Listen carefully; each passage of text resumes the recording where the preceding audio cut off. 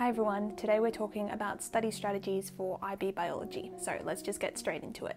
So, across all of the sections that I'm going to be talking about today, then the overarching theme is going to be use the syllabus.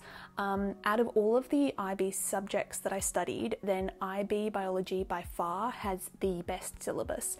Um, and I say that because it's really in depth in terms of covering all of the chapters, but also each individual dot point in the syllabus is very descriptive in terms of what you need to know. So basically, as you read each of the dot points in the syllabus, then that's telling you what you need to know for the final exams. So it's quite different from something like the psychology syllabus, where you know you have these dot points, but they're more so general themes that you need to know, and you need to know a lot more than just those brief dot points that they have in the syllabus, whereas the biology syllabus is really like a step by step guide of every single tiny piece of information that you need to know for the final exams. The biology syllabus is also for each chapter broken down into different sections like understanding dot points or application dot points.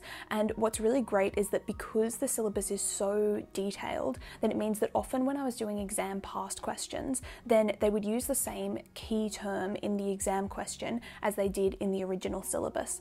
And so, what that means is that I didn't have to, when I read the question, I already knew which part of the syllabus they were asking me to recite or to give the facts from or the definition from.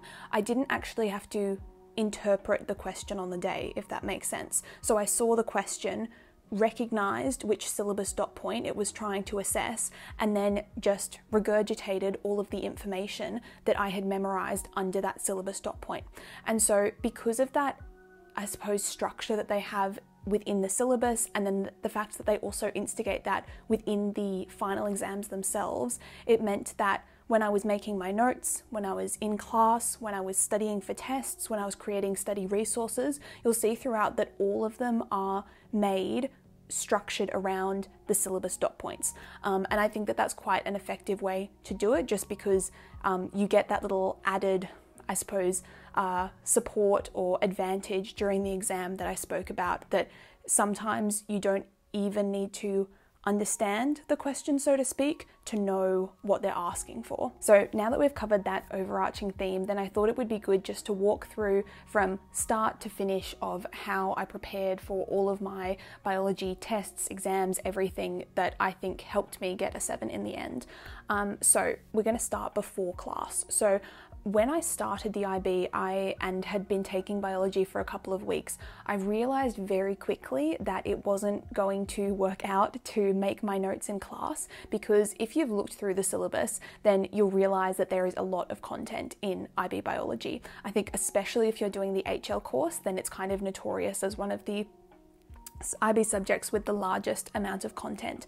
Um, I don't think that should scare you off because I think, in general, if I compare it to something like chemistry, then the content itself isn't challenging, as challenging, um, but the amount of content does mean that there's a large volume to get through, and that naturally leads to a very fast paced classroom setting, at least what I found. So, what I realized was okay, it's not going to work for me to make my notes and receive this information for the first time in class because I just wasn't processing anything that was happening in the class when the teacher was speaking because I was just trying to like write furiously and like I couldn't process all of this new information.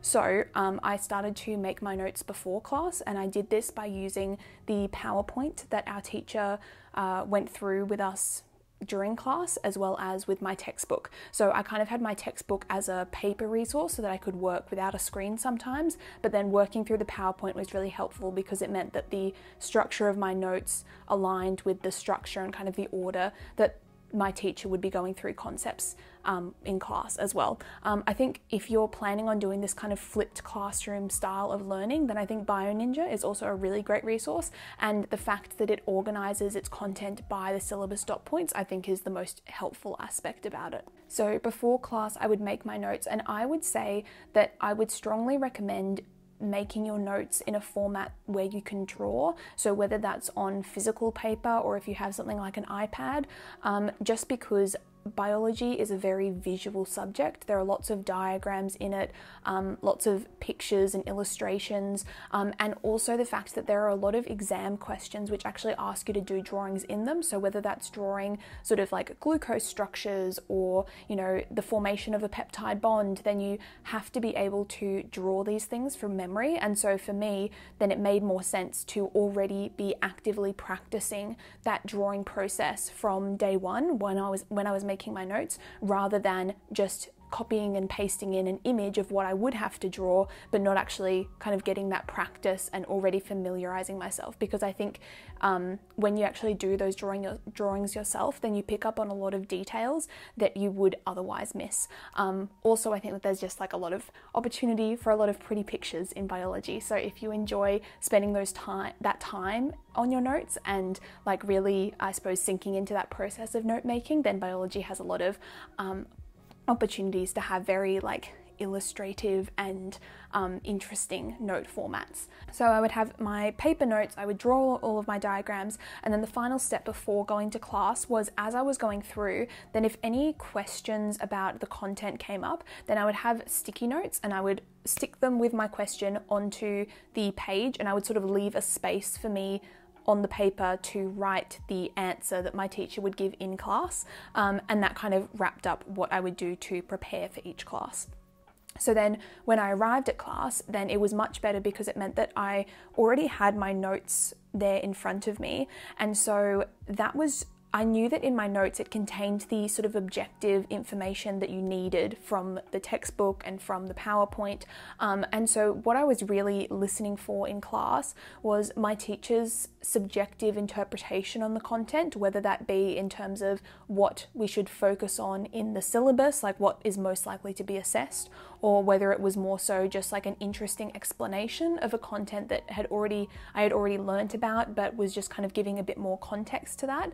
Um, so that meant that as I was going through class, then I wasn't furiously writing notes. I was more so annotating the notes that I already had with just these extra comments. And then, of course, during class, I would ask those questions that I had on my sticky notes um, and kind of fill in the, the gaps in my existing notes. So, the other major question that I would be asking in class is specifically for clarification on the syllabus dot points because um, often the understanding dot points are quite clear, but the application and other dot points tend to be a little bit more vague. And so sometimes I would have to ask my teachers, you know, between the different sets of information that's presented in the textbook versus the PowerPoint versus BioNinja, you know, what actually is the information that, you know, we're likely to be assessed on or should really be sort of the takeaway from the syllabus dot point. And so I think that that was really helpful to kind of get that clarification on the syllabus so that you know when I looked back later and was able to tick off that syllabus dot point I could look at it and be like yes I understand what that dot point is trying to get me to understand. I'll also mention now that the way that I organized my notes was I wrote them on paper and often a kind of um, barrier that people find to writing things on paper is the fact that you know you end up with this really chunky folder um, with all of your notes and obviously that becomes very heavy and far too heavy to transport back and forth between home and school. And so the way that i kind of got around that was i had my paper notes that i would put based on chapter into a plastic sleeve and then put that into another protective sleeve. And then it's that small um, chapter of notes that I would take into class with me rather than taking in my whole folder of notes. So I found that that kind of helped in terms of um, being able to transport things to and from school. So before class, I made my notes. In class, I was annotating those notes with my teacher's answers to my questions and any of their sort of subjective interpretations of the syllabus. And that meant that by the time I finished class, then I had a really solid understanding of the material and also a broad summary under each of the syllabus dot points. And I could kind of tick off that chapter and say, yes, I have covered all everything that the syllabus requires me to know. And so it was at that point after class where I felt comfortable making my study materials, which for me were flashcards. So, the reason why I used flashcards and why I think they're quite a popular study method for biology um, and very effective is because biology has these two, um, I suppose, modalities within it. The first one is sort of the more big picture thinking. So, when you think about big processes like respiration or photosynthesis or transcription and translation, things like that, they're kind of your uh, big picture processes that you need to be able to explain conceptually. Um, and then you have the small details, which are more like the examples, the case studies, the specific numbers that you need to know, like um, 50S ribosome or something like that.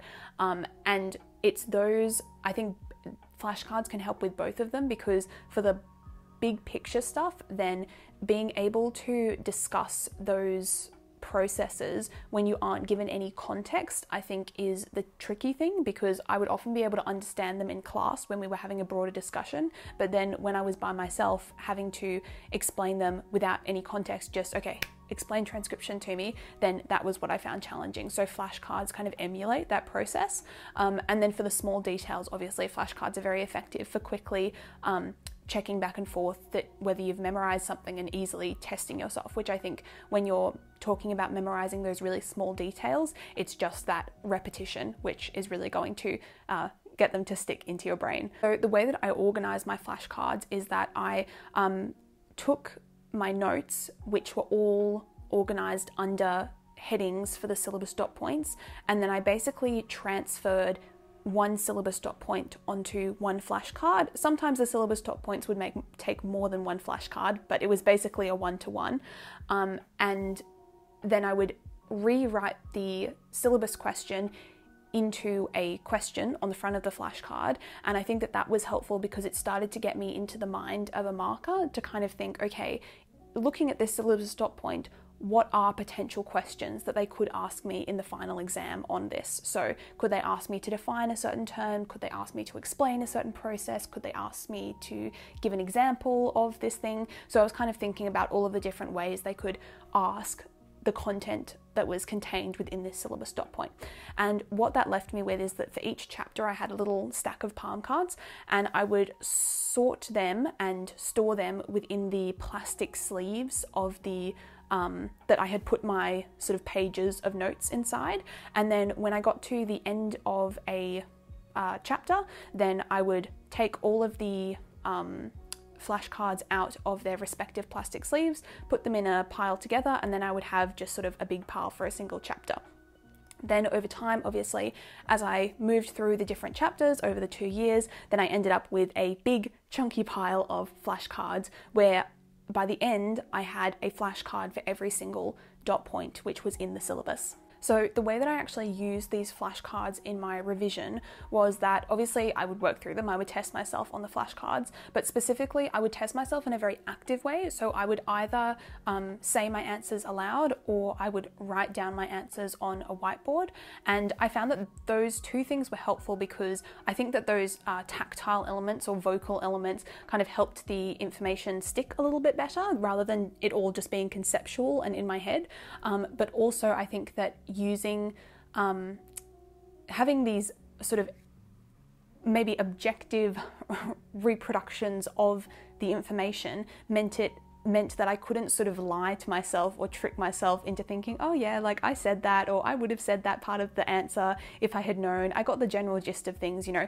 If I had said it or if I had wrote it down, if I wrote down my answer, then it was very clear to me when I looked on the answer on the back of the flashcard and thought, oh, actually no, that very that small detail there, I didn't actually say that. Okay, I have to put that into the difficult pile or the could not answer pile. I think a whiteboard is also a really handy tool to have for writing out your flashcards because of all of the diagrams that we have to draw in biology. Um, so, you know, rather than wasting reams and reams of paper, then having the whiteboard is a really easy way to very quickly be able to uh, practice drawing those things. And that's how I kind of worked through the flashcards. So every time I would test myself, um, I kind of worked through for the final exams sequentially because I think that the syllabus does build upon itself from you know the sort of molecular and cellular level all the way to ecosystems and kind of human physiology. Um, and so I worked through sequentially, and I would put things as I answered them into an easy, moderate, or difficult pile. And then obviously the easy pile I didn't look at again. Those were the ones that I just knew the answer answer already. And then the moderate and difficult ones I would just continue to go through them until eventually they also got moved to the easy pile. Um, and so I think that once I got to my final exams, kind of similar to what I mentioned in my first video on what helped me achieve the 45, then I think it was really to have this mindset of learning the content continuously because it does build on itself throughout the two years. And so it meant that since I was continually using these flashcards and making my notes and making the flashcards and consolidating with my teacher and, you know, really making sure that I was internalizing that information as I went, then by the time I got to the final exams, it was really only the application dot points and the other random dot points in the syllabus that I was really studying intensely with these flashcards. So the understanding dot points, I find that they're the most basic, often they're definitions or basic explanations of the processes.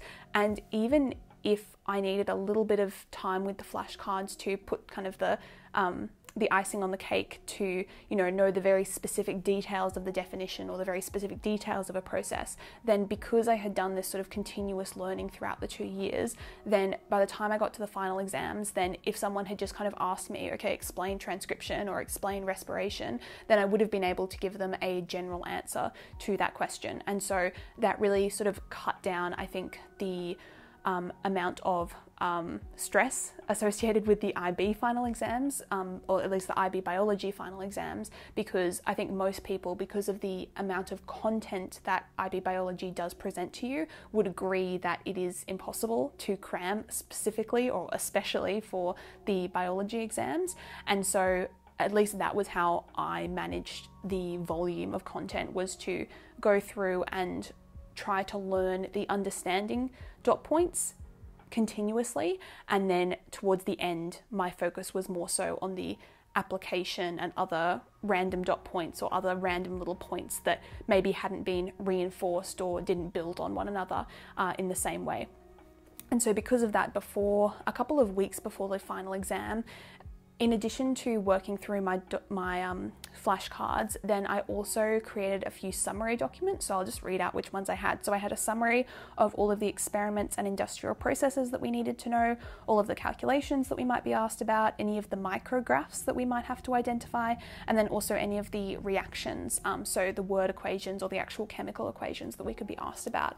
Um, and so these were kind of the parts of the syllabus that I recognized that I hadn't place as much emphasis on learning throughout the two years. And so for me, this was kind of a way to have another way to access my memories of that syllabus. So everything else I kind of learnt in terms of the chapters, and you know, I kind of talked through the fact that when I looked at a question, then most of the time the way I approached it was okay, what chapter is this coming from? Is this an ecology question? Is it a cellular biology question? You know, is it a human physiology question? And then sometimes I would be able to pinpoint the exact syllabus dot point that it was asking me for as well.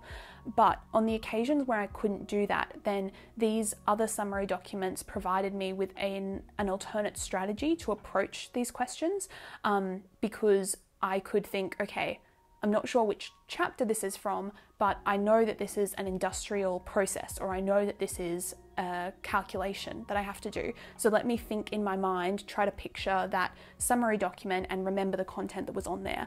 And these summary documents were only sort of one page documents, so it was much easier to tap into my memory of those summary documents compared to the hundreds of flashcards that I had on all of the chapters um, within the syllabus. And then when it came to the biology past papers, then like with most of my subjects, I didn't touch the past papers until my like true final exam revision. So that was like within sort of the month and a half before the IB exams.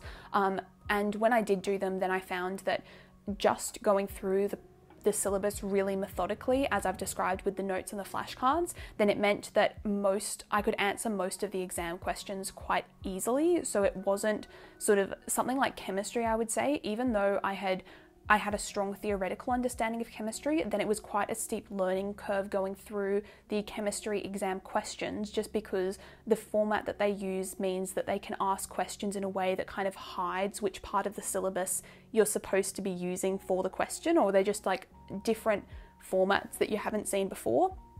Whereas the biology exam is very true to the biology syllabus. So I found that having kind of prepared myself for all of the syllabus dot points, then when I went into the exam, I was like, oh, okay, this is exactly the same. Or so, even some of the questions from the IB exams were exactly the questions that I had predicted on my flashcards based on the syllabus dot points.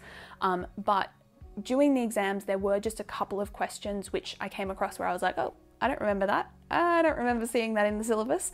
And so then those ones I put on another summary document of things I did not know. Um, so that was just kind of a way for me to record those things which might have, you know, slipped through the cracks somewhere in my process of reviewing the syllabus. Also, similar to what I talked about in my video about IB Maths, then I think it's really important to take the time to really go through and understand the mistakes that we make in practice assessments. And so throughout the entire two years, and also when I was doing practice papers um, right before my final exams, then what I would do is I would write all of my mistakes that I had made on the front page of the paper. And sometimes I would also make flashcards based on these mistakes so that I had um, a way to study and reinforce these key pieces of information. And I found that this was really helpful because I stored all of these practice assessments and corrections and palm cards alongside all of my other notes in that large folder. And that meant that when it came to preparing for my final exams, then I was able to flick through all of the assessments that I've done over two years and have a really quick way to review all of the most common mistakes that I had previously made and the areas that I found most challenging and that I would therefore have to uh, spend more time studying. So that was kind of my process from um, beginning to end of the IB. And if the overarching theme to open this video was that it's good to review the syllabus and you should be checking it at every stage of your revision, then the overarching theme I'd like to close with, or for you to stick in your mind, is that um, biology is everywhere. And so I think that this really creates a fun way to engage with the content if you just kind of open your eyes to the natural world around you. You know, once we started learning content in class, then I found that I started to see examples of it everywhere. So I would see the raindrops running down a window and I would be thinking of the cohesive and adhesive properties of water, or I would see the green in a park and I would be thinking about chlorophyll and why green is such an advantageous color because of the wavelengths of light, or I would be eating and I would think about the um, nutrient composition of the food and the enzymes that my like body would need to use to break that down down and how it would use those nutrients in my body. So, you know, if you kind of, I suppose, open yourself up to seeing biology in the world around you, then I think you'll be surprised at how often it crops up. And I think it creates this very um, natural engagement with the process and almost an engagement with the content. And I think it creates this almost um, serendipitous form of spaced repetition because things won't appear in your life in the same order that you're studying them necessarily. So, you know, you might be doing the ecology topic and, you know, all of a sudden you're making a fried egg and thinking about protein denaturation. So, you know, I think that over time, as you go through the syllabus, then you'll build up this bank of knowledge about more and more concepts within biology. And so you can really start to, I think, see the world through a new light and start to see science everywhere. And I think that that's a really cool element if you're studying biology at the moment or you're thinking about it. Um, I hope that you get to have that experience of really finding this um, love of the subject based on how it can start to explain things in your own life in a more um, scientific way. It's almost like seeing the microscopic or the invisible forces around you, which I think is very cool. So, yeah, that was kind of my whole process for IB biology. If you have any other questions, then feel free to ask. Um, but otherwise, hopefully, there'll be some more IB videos coming soon.